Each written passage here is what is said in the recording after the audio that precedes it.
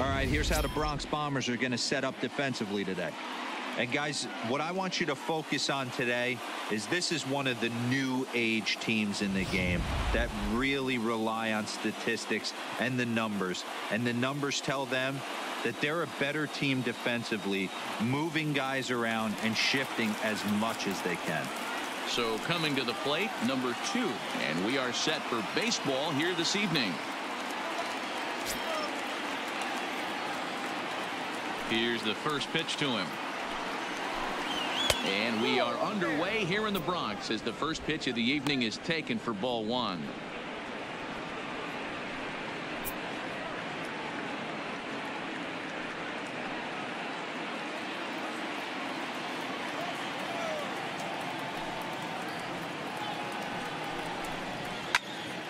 Count even now at one and one. Not a bad night to bring the parka along 54 degrees at game time.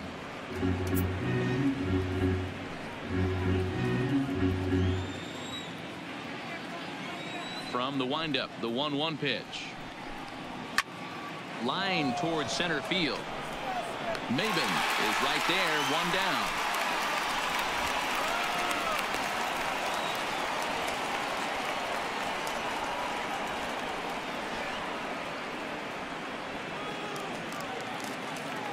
So one away here with the bases empty. And that'll bring up the speedy outfielder Byron Buxton.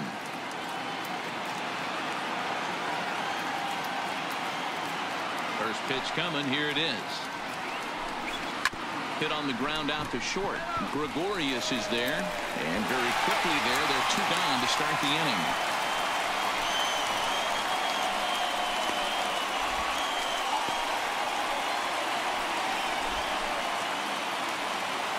So bases are empty here with two gone. And that'll bring in Jorge Polanco to hit next. First delivery to him on the way. Liner toward right center. Judge is there and they go down in a hurry here as his side is quickly retired. Down go the Twins in order. And now the Bombers will get their shot. No score.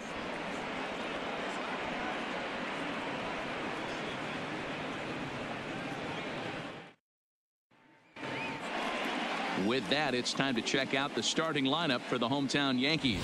What's the key for a home win here tonight, Mark? Focusing on this lineup, Matt. One thing jumps out at me. They are going to have to be good at situational hitting. The guy on the opposition right now on the bump has been throwing the ball great. He's not going to give him anything. I know in today's game everybody's trying to go deep, but I'm telling you, a good hit and run, taking that extra bag today might be the difference between winning and losing.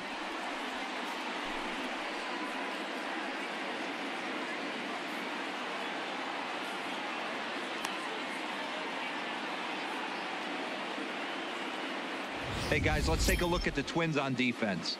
And folks, today I'm locking in on outfielder Max Kepler. I think he's just starting to scratch the surface. Bit off a couple of years trying to learn his craft a little bit. The bat's coming along. The defense has always been there. Super accurate arm, real sure-handed in the outfield. Stepping in now is the leadoff man Cameron Maybin as he'll get us started here in the home half of the first. Here comes the first pitch. Inside with the fastball, it's 1 0.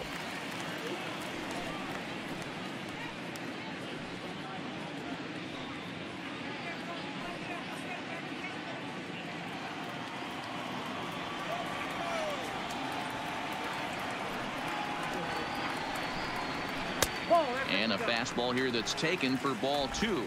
Maybin can be considered a bit of a one-dimensional hitter, I guess, in terms of making contact. He tends to see the ball out of right-handed pitcher's hands well, but doesn't seem to pick up the left-handers at the same level. And Maybin is going to wind up here with extra bases. And he'll pull into second here with nobody out. He just tattoos this ball right here. Tried to sneak a fastball in on him? No way drives it to deep left center field gap, and that was a nice job to get the barrel around in time to score that baby up.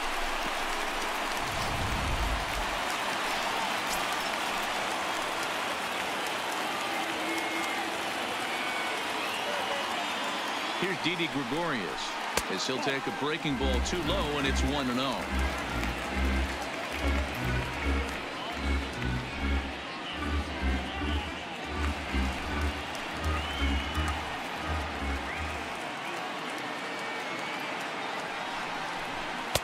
And he fires in a strike this time to make it one ball and one strike.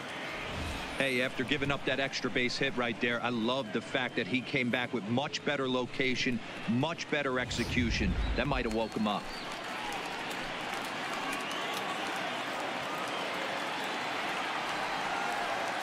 The set and the 1-1 pitch.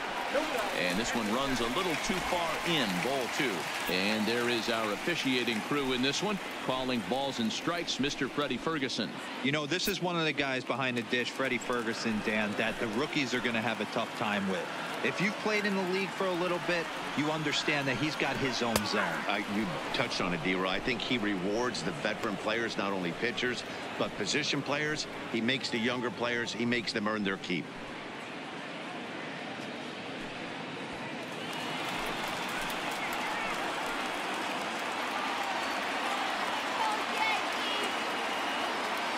Here now the 2-2 is laid off and the count runs full.